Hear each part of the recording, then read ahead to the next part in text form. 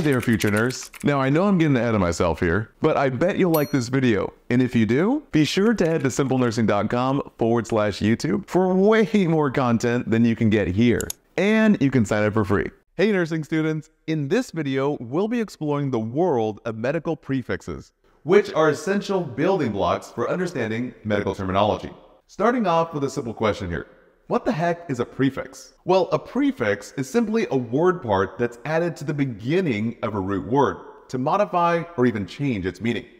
Prefixes can provide valuable information about the location, the number, the size, or other characteristics related to the root word. Now, let's talk about some common prefixes and really what they mean. Cardio or cardi, not Cardi B, oh, so cardio simply means related to the heart. For example, a cardiologist, which is a doctor or a provider which specializes in the heart. Gastro, on the other hand, means relating to the stomach. An example is gastritis, which is simply inflammation of the stomach lining. Hemo, hemato, or simply hemat, means relating to blood. An example of this prefix is hematology, simply meaning the study of blood. Hyper means excessive or increased. An example here is the word hypertension, which means high blood pressure. Hypo, on the other hand, means a deficit or decreased. The example here is hypoglycemia, simply meaning low blood sugar inside the blood. Neuro means relating to the nervous system. So you can see this prefix in the example of neurology, which is the study of the nervous system. Now, oxy, which you guessed it, means relating to oxygen. The word hypoxia includes two examples that we've seen. This is a state where we have low levels of oxygen inside the body. Now, path or patho means relating to the disease or abnormality. That's why in nursing school we study pathology, which is simply the study of diseases. Next is peri, which refers to around or surrounding. So an example here is perinatal, which means around the time of birth. Lastly, we have pulmo or pneumo, which simply means relating to the lungs. An example is a pulmonologist, which is a doctor or a provider that specializes in the lungs. So now that you know some basic prefix examples, let's, let's see, see, these prefixes, prefixes in action, action with, with, more examples and explanations, explanations to reinforce, your, learning. your learning.